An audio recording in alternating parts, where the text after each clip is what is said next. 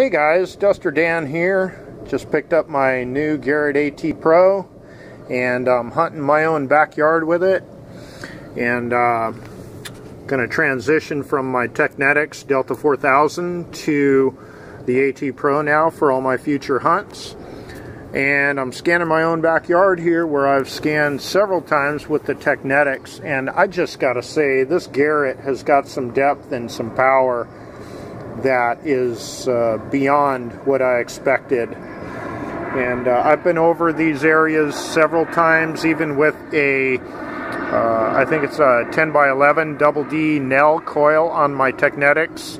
And uh, I'm finding new good signals that are uh, really great. So I just found one here down about six inches, pulled it out, and it's there in the, uh, well, I wouldn't call that a plug, but a pile of dirt. And uh, I just wanted to get this on camera because it's ringing up 81, 80, 81, 82. So let's check it out together and find out what it is.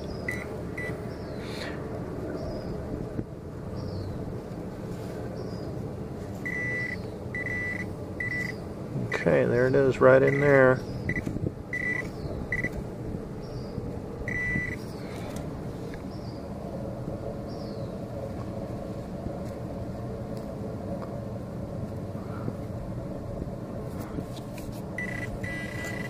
Seems to be in the plug a little bit. Oh, look at that. It is a coin. Holy cow. See, now I've been over this area many, many times with my, uh, my Teknetics. And it looks like a clad dime, if I'm not mistaken. Yeah, look at that. Holy cow. I gotta hand it to this Garrett, man. I've retrieved thousands and thousands of targets with my uh, Delta 4000 Teknetics. And uh, I know I've been over the spot many, many times, but, you know, leave it to Garrett. They just seem to be able to see down a lot deeper and give you that consistent signal uh, coming back every time. I'm sure I heard this signal with my Teknetics, but I could not sorry, I could not distinguish the signal from the other ground, uh, you know, the interference. So there you go. First coin found with my new, uh, my uh, Garrett AT Pro uh, in an area where I have been over and over with my other machine. My other machine, which has served me faithfully, uh, but not as good as a, a Garrett AT Pro. So anyways, I'll get back to you if I find something else. Alright, I got another target down here. It's about four inches down, maybe five inches. And again, I've been over this area with my other detector countless times. But, let's go ahead and see what it is. See if I can get my uh, trusty shovel in here. Get underneath the target. It's ringing up in the high 70s, low 80s. So, the age of this property, it could be either a clad or a wheatie, and it looks like it. It's green. It's green. You can see it right there. Looks like a wheatie. Looks like a wheat penny. No, it's a, it's a memorial. You can see clearly, maybe not so clearly. Get down the flat land. There we go. It is a memorial and uh, it was down about five inches. But like I said I've been through this yard countless times and I have pulled I thought all the coins out of here. But obviously there's still more to be found. So once again thankful for my AT Pro and uh, gonna go back and search a lot of places that uh, are a little bit older where there still might be some really good finds a little deeper. Alright, see you at the next target. Hey guys, Duster Dan here. I'm out hunting with my AT Pro in the mountains today. Got a permission on a large piece of property that's got some history to it. And uh, I've been here about an hour and really having a hard time with the AT Pro here. Um, filtering out iron. There's evidently a lot of uh, iron in these, uh, in the gravel here and in the rocks here. So um, I'm actually starting to hunt in um, all metal mode or uh, iron, iron audio and it seems to be the best way to distinguish between the iron stone targets and the actual decent targets because you will not get any iron uh, reflex or response from a coin. Um, so anyways, I got my first really good target here. Uh, it was down about two inches right down in here and as you can see there it is right there see if it'll focus. Yeah, there we go.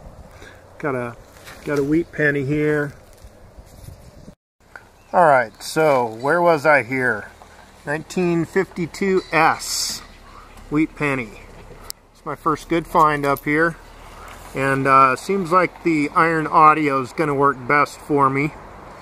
And uh, so let me get back to the hunt. I'll let you know if I find anything else. Hey guys, next target. All right, this is a virtual surface find and it looks like silver. I just moved away this little bit of bark and uh, a little bit of sand off the surface and this is what I found. Can you see the date? I can't. I'm going to have to get my glass out to be able to read the date.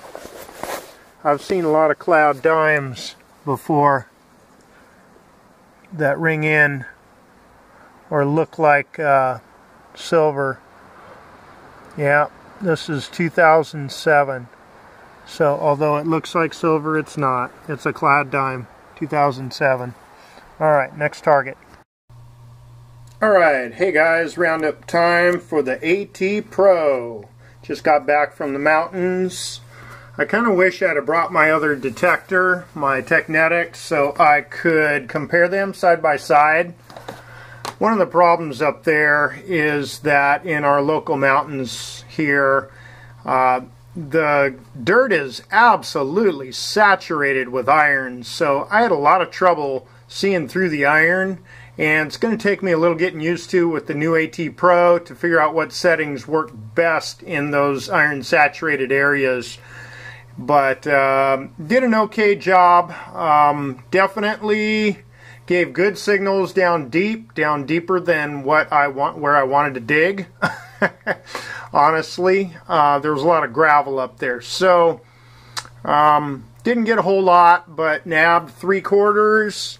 Uh, got a uh, 1952 S wheat penny, pretty good condition, but unfortunately um, it was in an area where people have been driving over uh, countless times. Uh, was not very deep. I scored seven dimes there, and the rest are just zinc and copper pennies, and a little zinc uh, what's it. So anyways, I just wanted to do a quick roundup on my quick hunt with my AT Pro, and I'll let you know when I get a chance to take it out and uh, do another hunt where there's a little less iron in the ground. Also want to do a couple of side-by-side -side, uh, comparison videos, at least one with my uh, Teknetics to show the difference in depth and um, show the difference in the signals. They're actually very similar, uh, target ID, very similar. Um, so it was not a very difficult transition over from my Teknetics to the Garrett. So anyways, that's it for this hunt. Hope y'all enjoyed the video. Hope you have a great week. And hope you get a chance to get out there and do a little hunting yourself. Put them up on YouTube. Share them with the rest of us.